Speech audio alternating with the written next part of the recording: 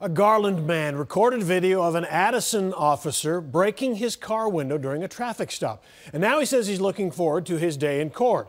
Fox 4 News broke this story earlier today. Deanna Zoga back in Addison tonight. She's talked with the driver about the uh, stop and why he refused to follow any of the officer's orders. Deanna.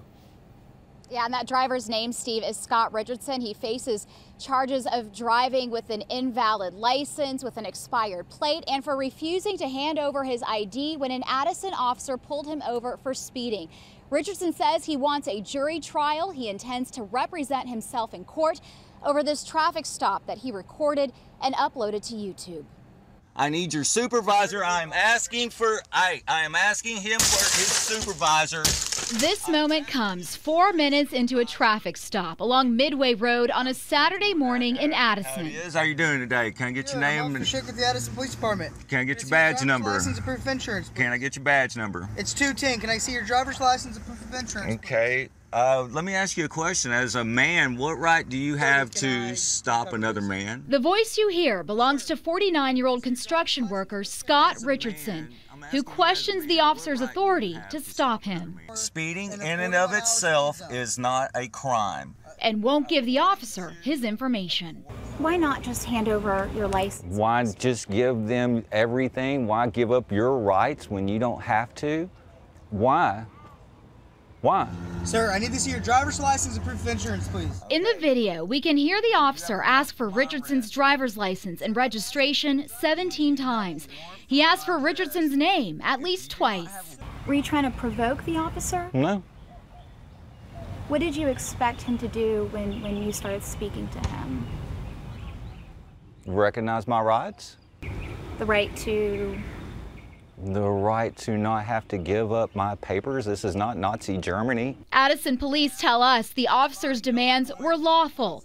And note that the officer warned the driver he would break the window. Sir, the same thing. I need you to stand down and get your Open your window now or I'm going to bust it out. Now you're now you're going Okay, I need you to call and I need you to get your supervisor out here. I need your supervisor out here. I need your supervisor. I'm asking for I I am asking him for his supervisor. I am asking you for your supervisor. The officer opens the driver's side door and arrests Richardson. In total, Richardson says the experience cost him around $800, and he wasn't even cited for the original stop, going 50 in a 40 mile per hour zone. He says he would, if faced with the choice, do it all over again. Every bit of it. I would do it all over again. Because I was right. And if I'm right, I'm not going to back down. If you're right, do you back down? Do you? Who's going to back down if you're right? So while this video is getting a lot of attention today, it caught our attention today. It was actually recorded back on May 2nd. Richardson uploaded it to his own YouTube channel where it's really just been buried there for weeks now until today. Back to you. All right, a, a judge will decide who's right or who's wrong here eventually. Uh, Deanna, I'm curious, the way Richardson talks and kind of handles himself, I've heard that before from a lot of cop watchers, uh, members of Cop Watch. Is he associated with a cop watcher group?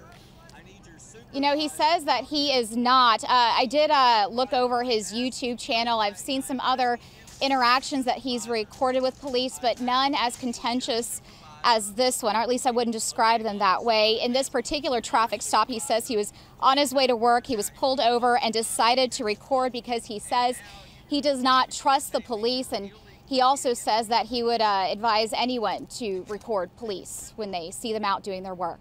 Back to you, Steve. Okay, Deanna Zoga in Addison, thank you.